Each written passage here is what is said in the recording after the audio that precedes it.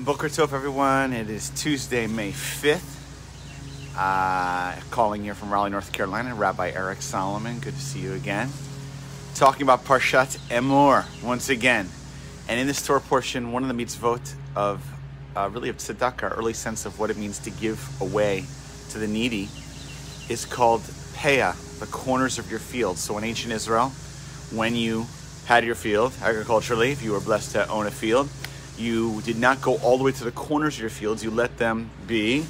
And the idea behind that was that um, when you were done, I guess the end of the day or end of your time, you left that in the, in the corners for the poor and the needy to come on their own time to gather that. So the idea being that the, the land is not totally yours to cultivate and to get for food, but to leave for those that are in need in the corners. And there's a number of powerful things about that. First of all, you know, gives a sense of dignity and anonymity.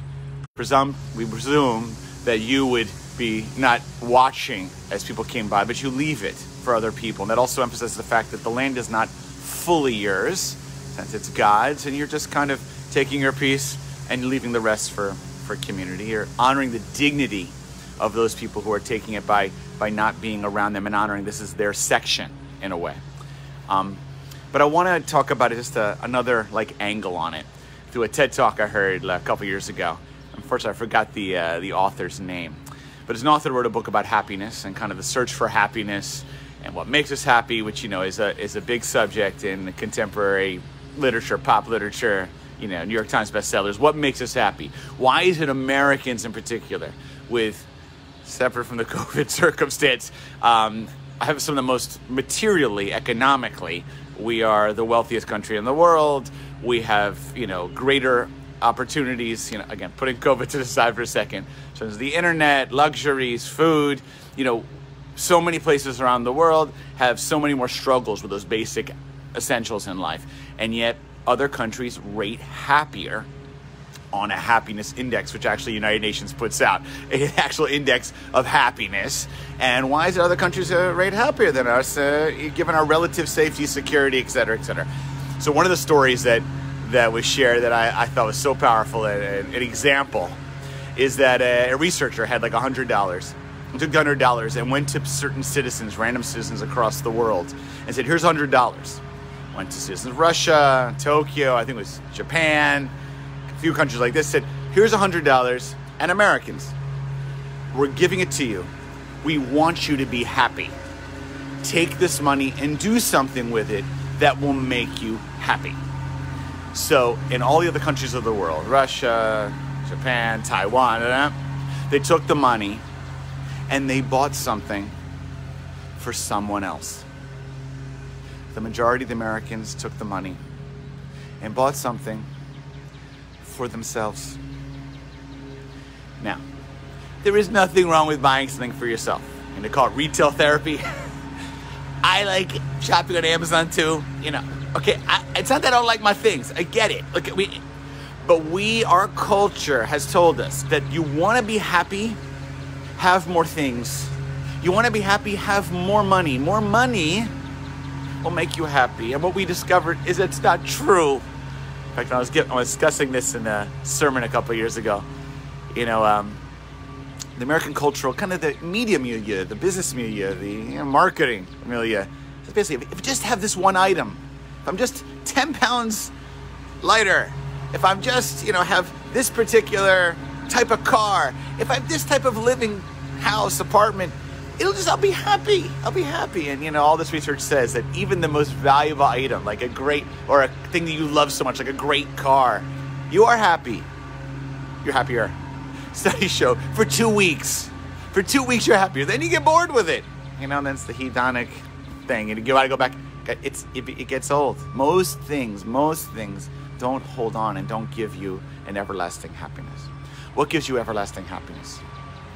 Is giving things away. And even more than I'd say is giving yourself away. You know, one of the questions asked of converts, according to the Talmud, it says, when someone comes to convert and comes to thousands of years ago, they say, Don't you realize that before you were Jewish, you did not have to follow certain mitzvot, which are going to be challenging, you know, eating pork, keeping Shabbat.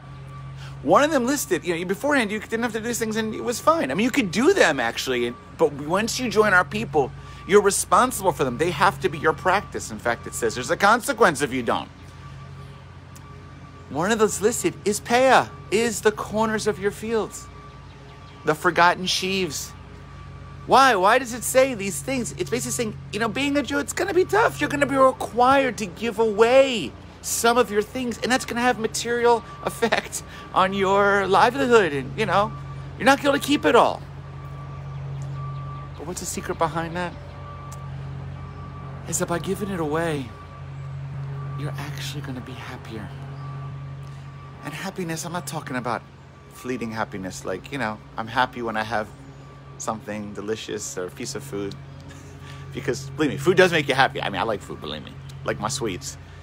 But the problem is you're going to be hungry again a couple hours later, right? So I'm talking about deep, soulful, sustaining simcha that comes from the heart is when you give yourself away to things that matter. You know, I, I happened to watch an interview last night of some doctors who are serving under COVID 19 in, in a unit in Boston. A friend of mine was doing an interview.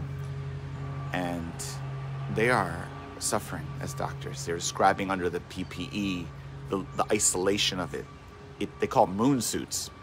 Just the experience, watching people die, young people die, doing end of life conversation. This is extremely difficult. I, I wouldn't say they're happy. That wouldn't be the right term. But they filled with meaning right now? Absolutely. And they're getting that meaning by giving themselves away to service. COVID 19 right now, you know who's, this is my take, anecdotal, getting through it, happy is the right word, meaningfully. People are finding something that they can give away.